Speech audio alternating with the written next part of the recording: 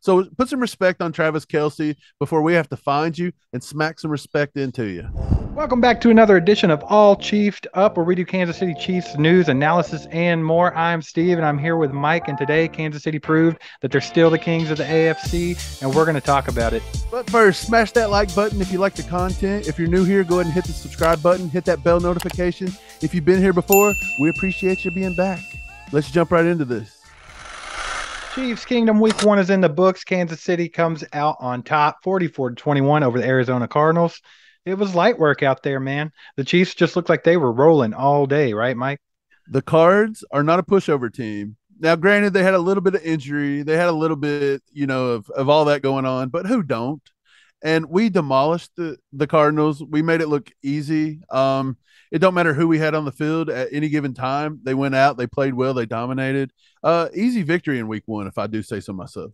Absolutely. It was it was awesome. It was really good to sit there and watch just a stress-free week 1 beat down and just prove everybody wrong. It's been talking trash about the Chiefs all year. Mahomes come out scorched earth like we said that he would and then everybody else in Chiefs media said the same thing last week. Yeah, so we had called that months ago. Apparently everybody else just got the memo like last week. But uh, we knew it was going to happen. We said that Mahomes would not struggle without Tyreek Hill one bit every ESPN analyst, every pundit, every podcast, every idiot out there that said that he was going to struggle without Tyreek Hill can now officially suck, suck it. it. Suck it. That was not planned either. We said suck at the same time because that's just what they need to do. That's what you got to do. Just suck it. Uh, observation number one from this week, man. Mahomes and the offense, they look like they did not miss a step in the offseason. We didn't know what they were going to look like, but we said, hey, they're going to look okay. Mahomes is going to be able to distribute the rock to everybody he wants to, not just focus on Tyreek Hill. Dare I say we looked a little better this season than last season because there wasn't tunnel vision straight to Tyreek Hill because he wouldn't stop crying in the huddle to get the ball. Mahomes was spreading the ball all around the field. The run game actually looked decent. Clyde performed well, Pacheco performed well, and Jerick McKinnon performed well. So I noticed that Reid did split up all three of those backs. They all got a lot of work. All of them looked good. All the receivers looked good. No one on the offense looked bad today. No, I thought the receivers all looked pretty good. Juju in his debut looked pretty good. Um, he did have that late fumble, but it didn't cost us anything there at the, the end of the first half, I believe. Um, other than that, everybody done what they needed to do. Skyy Moore even had a nice catch there. I think it was 30 some yards. Um, we all looked good. And you touched on a little bit. That brings us to point number two every skill player out there, be it MVS, be it Juju, all the new pieces, be it Pacheco, whoever it was, every skill player contributed and they all looked pretty good. They all looked really comfortable and it is week 1. So this is only going to get better, folks. Like this is week 1. Everyone thought it would take a while for these guys to get comfortable and start gelling together, but this looked like a well-oiled machine right off the bat. Andy Reid's game plan was excellent. It worked perfect, and these guys were executing, which is exactly what we said they needed to do to take this game yeah, like we're not naive enough to think that they could keep this up. They're still going to hit slumps and bumps along the way. But today, you couldn't have asked for a better start to this offense. And I thought it looked beautiful. Right. And I don't think it's the ceiling. I do not think it's the ceiling for this team. They can be even better than what you saw today. Okay, so let's get into the defensive side of the ball. That brings us to point number three. I thought the pass rush looked pretty good. Kyler Murray is a hard QB to track down.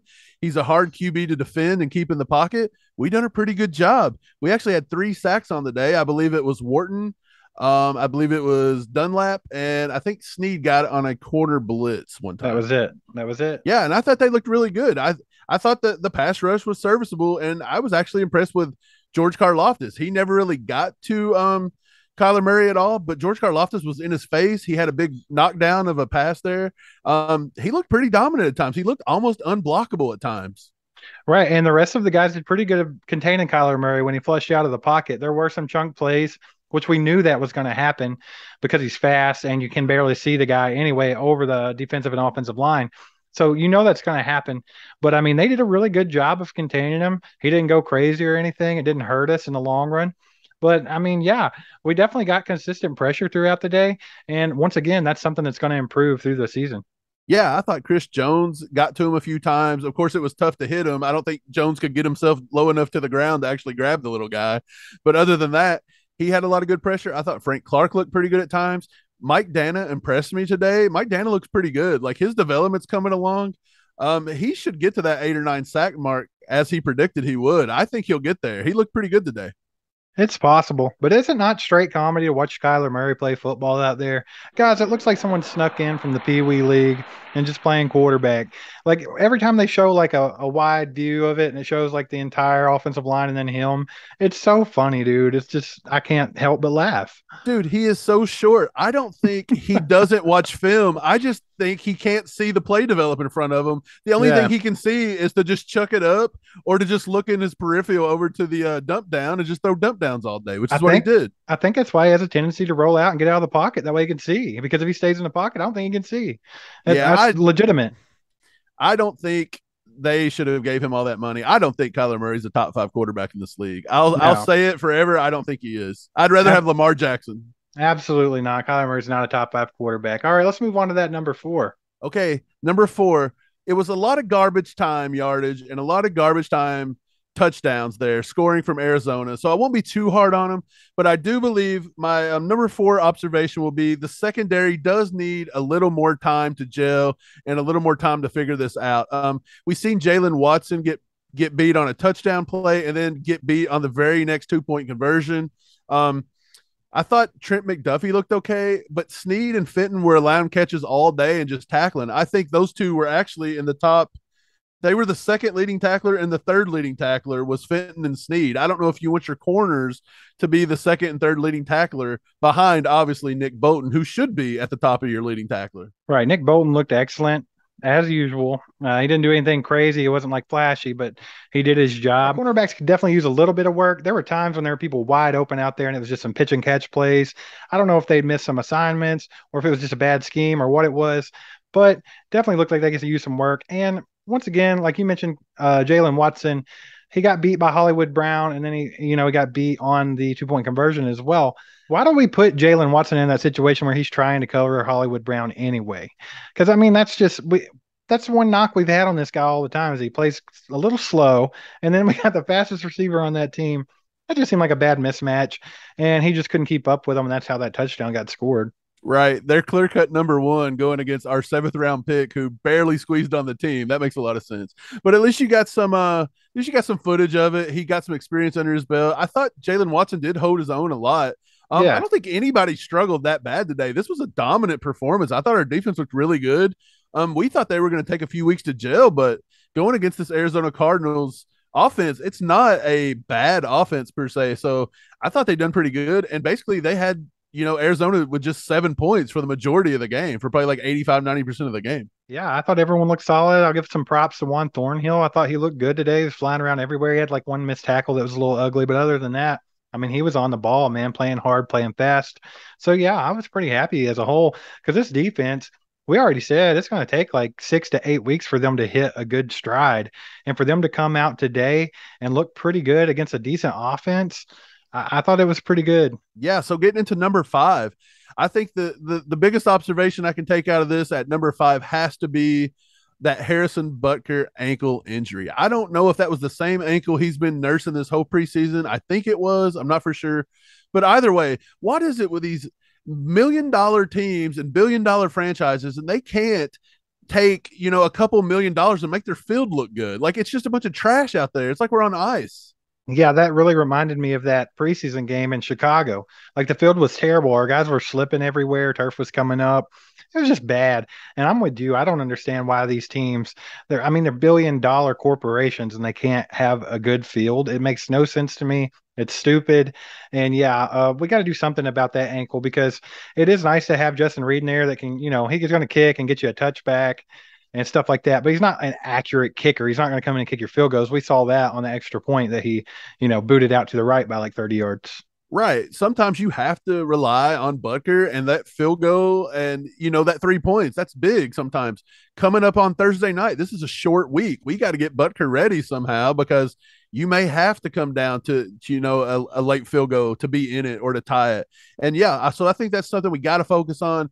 But that was the big thing, you know. All the talk about Reid, we even laughed in the game. We were like, "Is Reid sitting around somewhere at home, like doing some voodoo on Butker's ankle, you know, so he can get out there and kick a little bit?" Ever since we saw Reid kicking in training camp, it's like there's been something wrong with Butker. Like here and there and everywhere, and it's like just so he can squeeze into the game.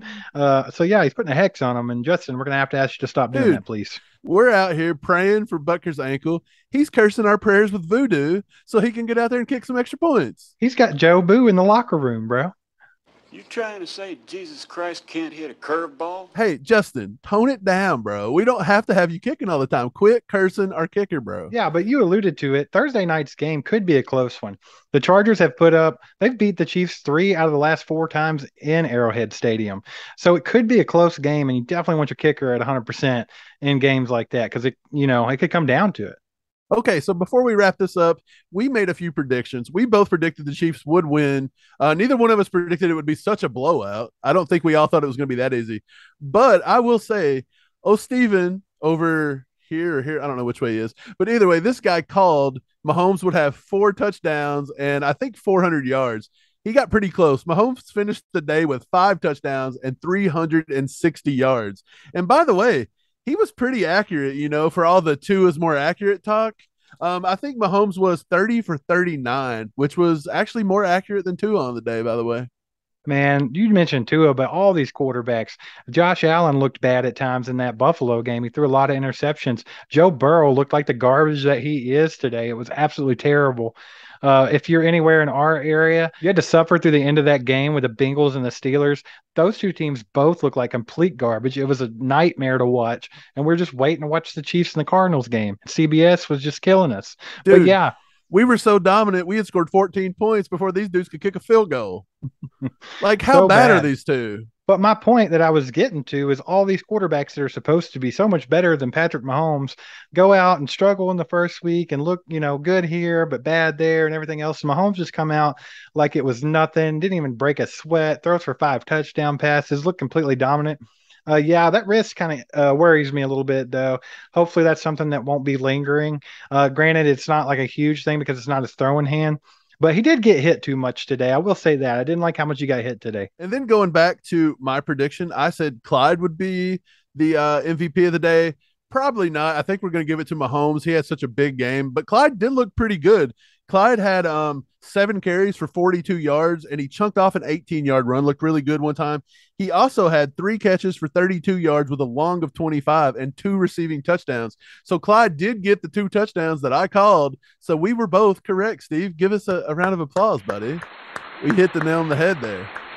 Pretty good. We did pretty good. So there's another injury that we did not mention. Trey Smith's out with an ankle injury as well. I don't know if it got rolled up on or maybe it was that crappy field he was playing on. I don't have a clue, but there's another ankle injury. So we had Butker, we had Trey Smith, both have injuries. Uh, hopefully they can get back 100% before this game on Thursday. Yeah. And I think the one last thing I want to call out, besides our, our receivers looking pretty good, MVS Juju looked pretty good. Um, I think uh, Juju had six receptions for 79 with a long of 20. And then MVS had four for 44 with a long of 17. So they both look pretty good. But the one guy I want to kind of call out is Travis Kelce, man. Still the best tight end in football. He had eight catches for 121 and a touchdown with a long of a 35. And let me tell you Yeah. something. George Kittle's supposed to be better. This guy, where's he at? Not even playing. He's on the bench injured. Playing again. Madden. Yeah. Yeah, like this guy sucks. And you all say he's better than Kelce every year. And all Kelce does is come out and put up a hundred and a touchdown every week. So put some respect on Travis Kelce before we have to find you and smack some respect into you. Yeah, no kidding. And not to mention that a lot of his workload was peeled off between Noah Gray and Jody Fortson today. If they were still going to Kelce as much as they usually are, he could have had a monster day. I, I, I just want to say though, it's just amazing that a team that was just so hindered by Tyreek Hill and we just didn't even know how to score. And I mean, if Tyreek was on this team today, we may have scored 180 according to the media, you know? Yeah, so Tyreek got what he wanted. He's over in Miami, uh, getting the ball thrown to him 85 times a game, but didn't mount to anything. Uh, I think they might have won today, but it's not like they went out and slaughtered somebody or did anything important. He didn't have a crazy good game or anything like that. It was just a product of getting the ball 85 times in his hands, but he's getting what he wanted and we're getting what we need. So Yeah. I, that's where I'm at with it. Yeah, I think I, I much rather would prefer this offense and the way we look today to the way we look for the past few years. I felt over the past few years we were starting to get a little stale, a little stagnant. Um, everything was starting to be forced. We were we were having to like play this with this too deep thing and and had to game plan around Tyreek and Tyreek had to touch it and this and that. And our offense just looked like we did not stall out at all today. Mahomes looked free to throw it to anybody he pleased, and we looked really good. I liked the way we looked. And again, not saying we're going to be perfect. We're still going to stumble a little bit, but overall, I was pleased. I give the offense a fat A plus for the day, and I give the defense a solid A. This was an overall good team performance and a very good week one. Absolutely. I mean, we have a better receiving corps than we've ever had in in the Mahomes era. I don't care what anybody says. This is the most complete one, and it looked like it had the defense on skates out there at times because they didn't have a clue where the ball was going. We didn't even know where the ball was going to be going, and it was just so many options for Mahomes. If he can make sure to keep his options open and get through his reads, I think he's going to have an awesome season, man. Yeah, I do too. Okay, man, that's going to wrap it up for the day. I think. Um, you guys tune in tomorrow. We're going to do a little player spotlight on Justin Reid. All right, Chiefs Kingdom. Do you think the Kansas City Chiefs did enough today to still be considered the kings of the AFC? If so, put it down in the comments. Hit that like button if you enjoyed the content today. If you're not a subscriber yet, get down there and hit that subscribe button right now. We're trying to get to 5K before the season ends, and we're going to need your help. So utilize that share button down there. Share this on your social media. Also, any super thanks over $4.99, and we are going to send you a keychain and a sticker. And don't forget to hit that bell so you get notifications when we come out with new content. Okay, Chiefs Kingdom. That's going to do it for today. Tomorrow's the player spotlight, Justin Reid, And then we got Chiefs Chargers, five keys to victory Monday on Wednesday. Yeah, and you might wonder where that leaves our weekly Wednesday roast. Hang around till next Monday, and we'll probably get that one up because Joe Burr deserves it. Yeah, I think so. We'll see you guys. I, I,